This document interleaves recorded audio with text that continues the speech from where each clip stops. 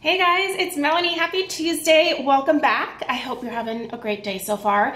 It is another candle review day here on my channel. So up first is this um, adorably delicious banana berry smoothie from HomeWorx. And a little bit later on this afternoon, I will be uploading my thoughts on the Kringle um, Country Candle Watermelon Pops fragrance, which was a new release for spring.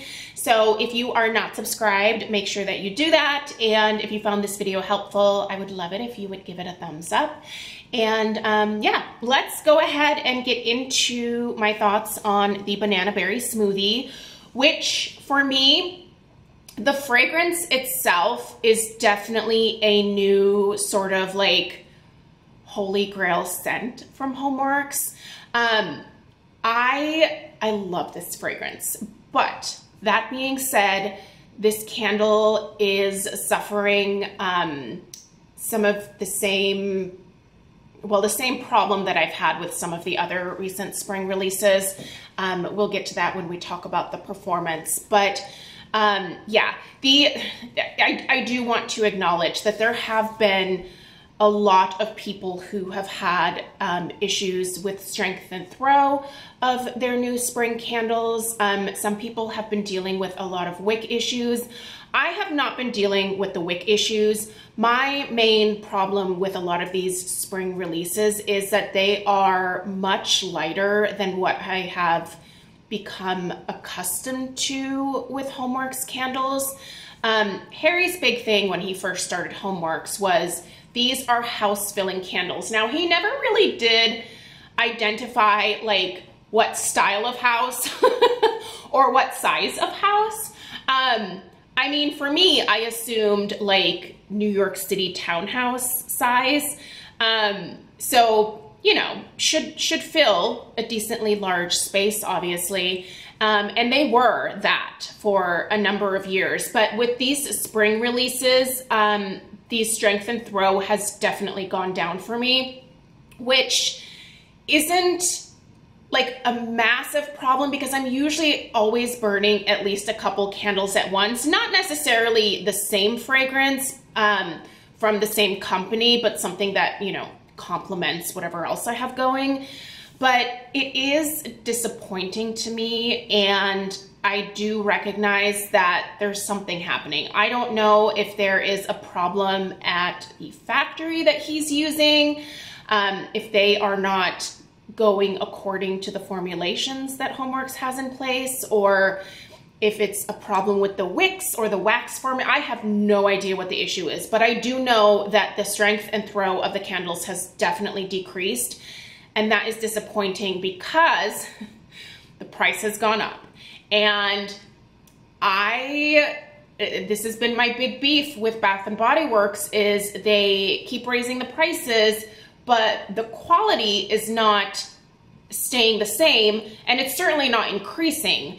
Um, now, if the quality was what I was used to with HomeWorx, I wouldn't mind the price point quite as much because I do understand that, you know, due to current, you know, economic situations happening, um, the price of a lot of things have gone up. And that is frustrating. It's annoying. It's, um, it's not great, right? If you are a consumer of candles, which are a product that you purchase, you burn, you're essentially like, you're lighting your money on fire, right? Like you could look at it that way. Um, but it's frustrating when you are paying more for something and you are not getting the quality that you're used to. So I really hope that whatever is happening with these spring candles is being reviewed and that changes are made and put in place before subsequent candles are poured and, you know, sent over to be shipped out for the late summer months or um, heaven forbid even the fall months because you know I do think that based on the date on a lot of the bottoms of these candles so I'll show you let me just grab another HomeWorx candle here. I'm going to show you on this limoncello cupcake where you can find out where, not where, but when your candle was poured. So pardon, I'm gonna come in front of the camera here. So do you see this F here? This means that this candle was poured in the fall. The 20 means that it was poured in the fall of 2020. And then, um, you know, these are, um, so it would have been 11, 18. So November 18th of 2020 is when this limoncello cupcake was poured. So just look for that on the bottom of your candles. Um, and a lot of the spring candles, it looks like they were poured in the fall of 2021, like November of 2021 is what a lot of my candles are saying. So I have a feeling they are now probably starting to get into pouring the candles for this coming fall and holiday season. So I hope they are able to course correct because I would really hate to see another season of a lot of like um, reviews where people are disappointed. So anyway, let's let's get into my thoughts on this particular scent. But I do I do want to acknowledge that yeah, there there are issues that people are having with a lot of the HomeWorx candles right now, and I just really hope that the message is getting through to the HomeWorx team and that they're able to reevaluate and, like I said, course correct because I do think that that is important to maintain that brand loyalty from a lot of people. Um, I know I have heard several people say that they are ready to just walk away from HomeWorx um, completely. I'm not there yet. Um, I've, I've said this before.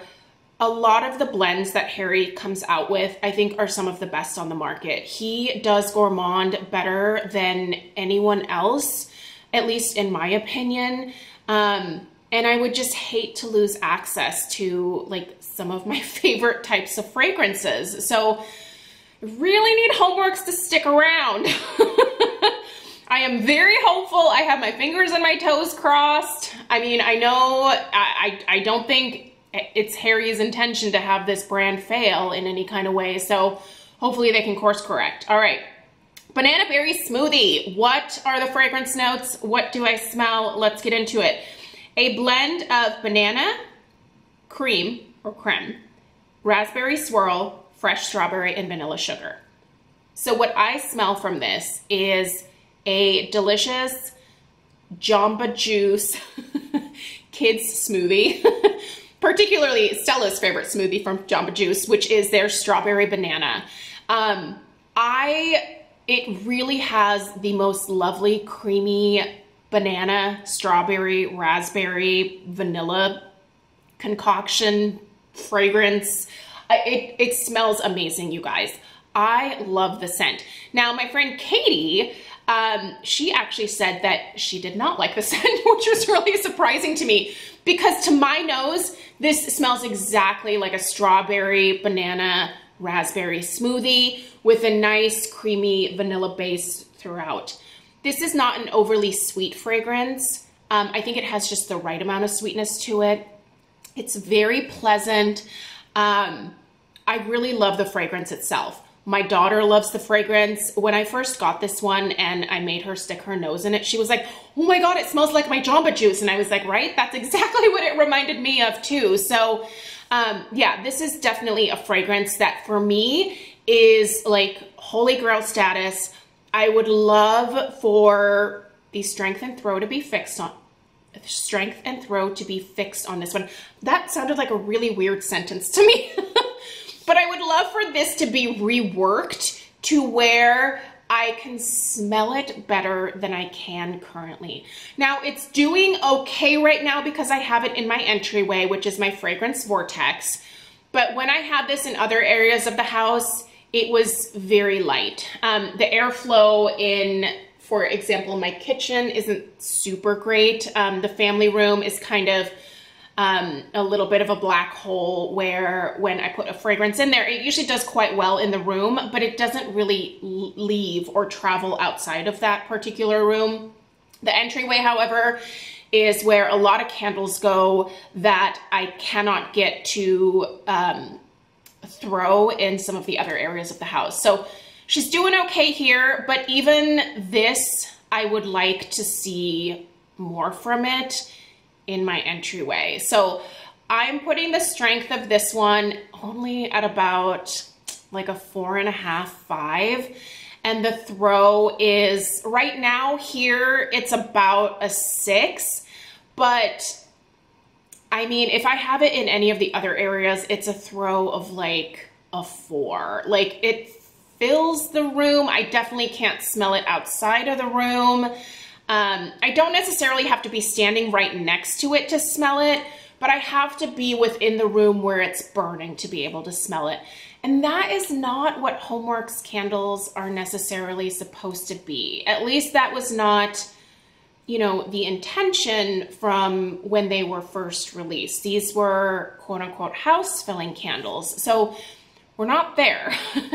we are at room filling candles, but that's not I feel like that's not the claim to fame for HomeWorx. So yeah, while I love the fragrance and I have all of my fingers and toes crossed that it'll come back, um, you know, I understand why some people are kind of irritated with this one.